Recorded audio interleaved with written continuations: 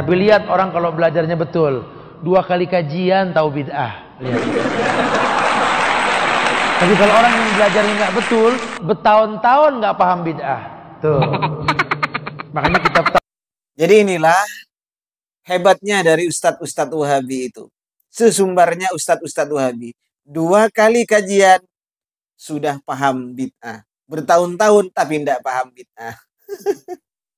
Assalamualaikum warahmatullahi wabarakatuh. Alhamdulillahi rabbil alamin wassalatu wassalamu ala sayyidina Muhammadin asyrafil mursalin wa ala alihi wa ajmain amma ba'du.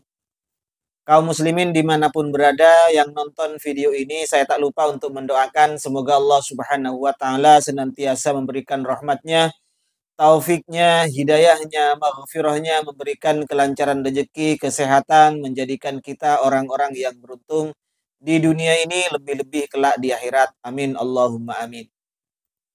Itulah ya hebatnya dari ustadz-ustadz Wahabi.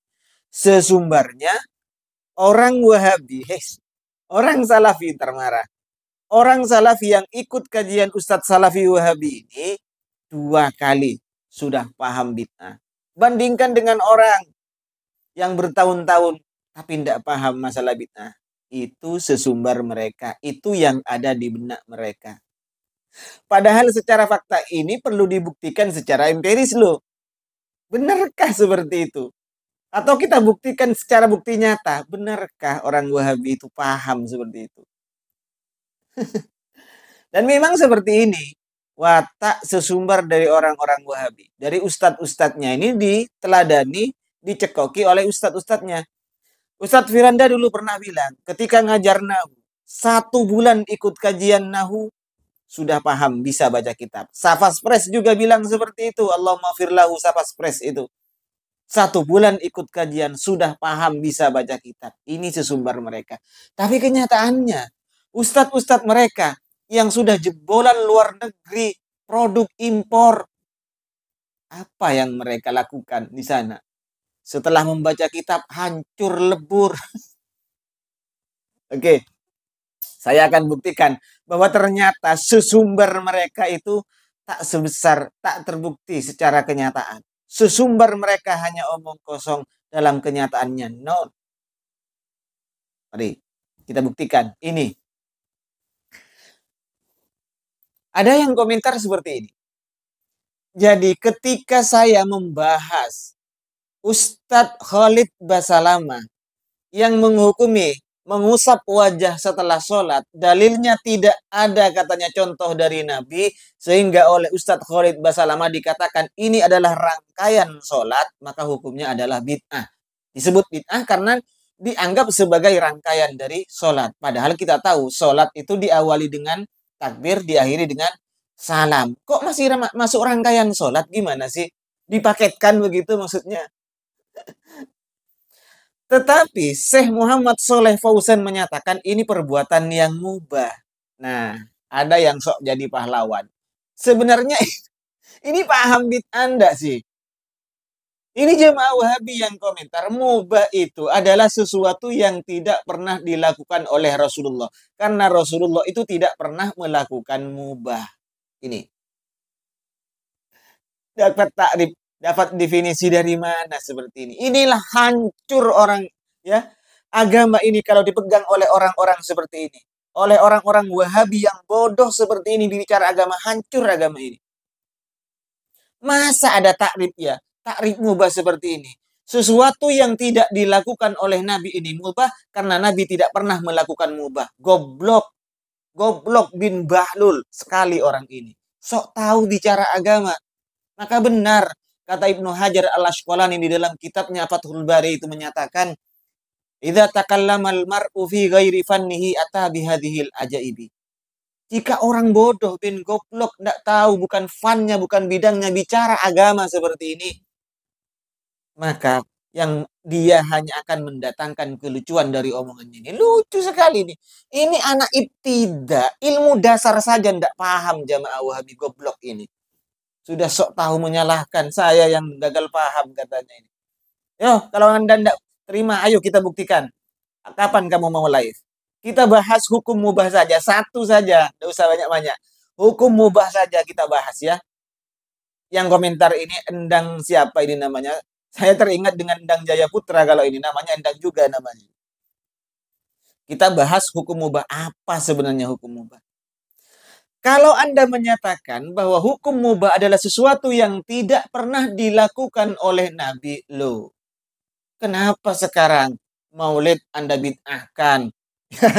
Mengusap wajah setelah sholat itu Anda bid'ahkan. Kan mubah hukumnya itu. Kalau mubah, kenapa kok dibid'ahkan?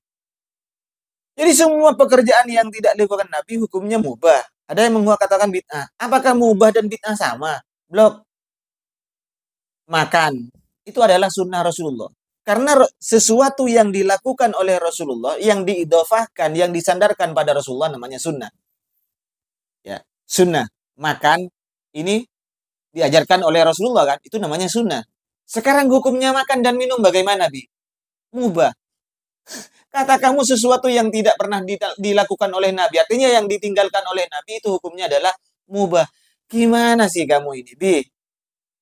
Kok otakmu ini apa? Dua kali kajian katanya paham bid'ah. Masa mubah saja tidak paham ente? Kalau tidak pernah dilakukan oleh Nabi, itu tidak ada hukumnya. Namanya attarku. Jadi attarku ini sesuatu yang ditinggalkan oleh Nabi. Ini namanya afun. Tidak berarti langsung serta-merta berfaedah haram atau tahrim. Bi. Kalau sesuatu yang mubah, ini artinya yang bila dikerjakan itu tidak apa-apa tidak dikerjakan, tidak apa-apa. Ini namanya mubah bi, bukan sesuatu yang tidak pernah dicontohkan oleh Rasul, bukan sesuatu yang tidak dikerjakan oleh Rasul itu mubah. Masa Rasul tidak pernah makan? Masa Rasul tidak pernah minum? Rasul tidak pernah tidur? Itu mubah hukumnya. Gimana? Di mana otak Anda ini, Bi?